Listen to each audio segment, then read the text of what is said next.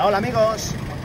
Primer fin de semana serio de la temporada. Ayer rodamos 80 y pico, 86 kilómetros creo que fueron, casi a 30 de media, muy bien, eso sí, casi planos, pero en, primer, primeros repechos así que pillamos a fuego, como se notan las piernas, las pulsaciones no suben. Pero en fin, y hoy vamos a darle a la mountain bike, 40 y 45 kilómetros me parece que son, circuito Scott 7 estrellas, la última del año, estamos venía la última, estamos así. Y vamos a ver lo que sale. La idea así fuertecillo, pero sin fliparse para que el pulso no suba demasiado, porque ahora mismo es mejor no desgastarse más y quemar el motor antes de tiempo, porque como la idea nuestra es llegar bien al mes de abril o mayo, no estar a full en febrero, pues no hay necesidad de, quemarse, de quemarse a estas alturas. Así que vamos a ver cómo va. Tercera vez que se me olvida la GoPro. Fíjate que echar la GoPro en la mochila. ¿Qué mierda es esto? ¿Qué mierda es esto? En fin, vamos a ir comentando. No sé si dará tiempo a grabar durante la carrera, pero bueno, luego al final grabaremos un poquito y luego, luego por la tarde creo que haré una grabación extra, pero no os digo de qué va porque no sé si la haré o no, o sea que lo dejo ahí. Venga, hasta ahora.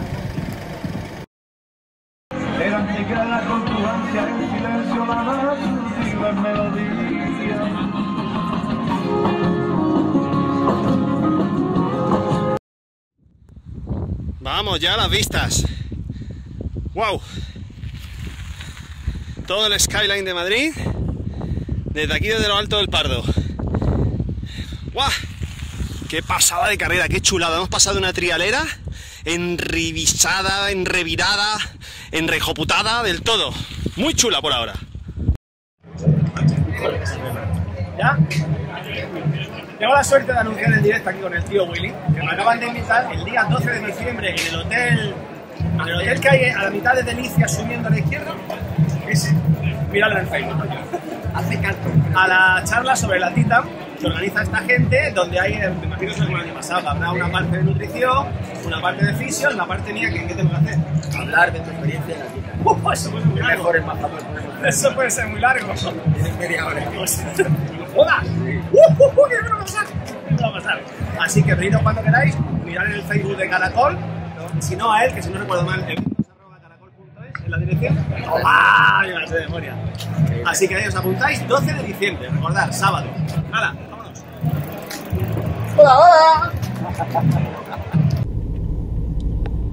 Hemos tenido que salir escupidos del final de la carrera porque habíamos quedado para comer, además no es una comida cualquiera porque desde hace, eh, fue jueves, pues desde hace 10, 11 días concretamente, va a ser mi primer cheat meal de la dieta. ¿Qué es el cheat meal?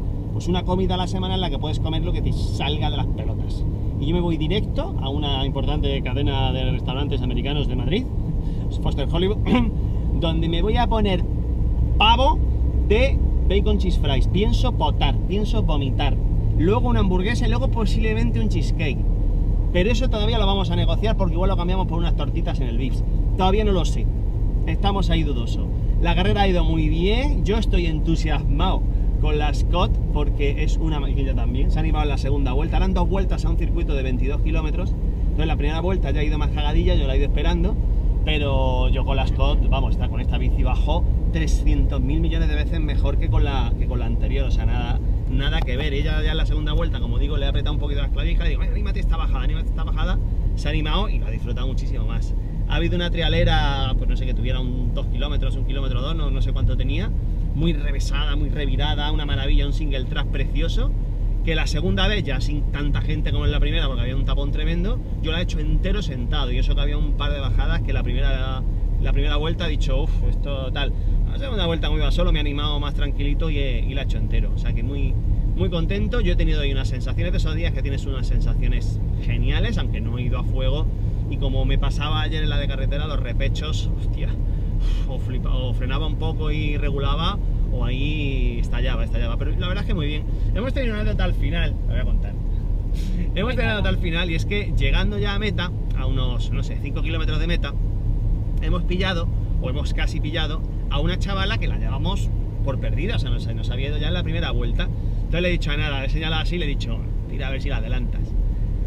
Yo pensaba que la chavala iba hecha polvo, porque como te digo, es que yo la he adelantado muy fácilmente iba mirando para atrás, iba mirando para atrás, y nada se ha, se ha emocionado en la primera cuesta, la ha pasado, pero la otra se ve que todavía le quedaba una pequeña bala en la recámara y la ha vuelto a pasar, al final ha llegado a meta antes, ¿no? La hemos felicitado en meta, he dicho, ole, ahí, que has apretado el culo porque se han picado de la. Esta ha pegado un petardazo. Yo iba un poco para adelante y he oído ahí ¡pum! petardazo. Y ha pegado una petada a 3 kilómetros del final a 2 kilómetros, que era el último kilómetro. Muy cerquita ya de la meta, el último kilómetro ha pegado un petardazo que iba ya, ha llegado con la lengua afuera. Pero en cualquier caso, muy divertida la carrera. Yo me sorprendo mucho porque yo iba a tranquilito a entrenar y a pasarlo bien. Y ha sido maravillosa, maravillosa. Así que súper contentos y a la hora a hincharme de comer.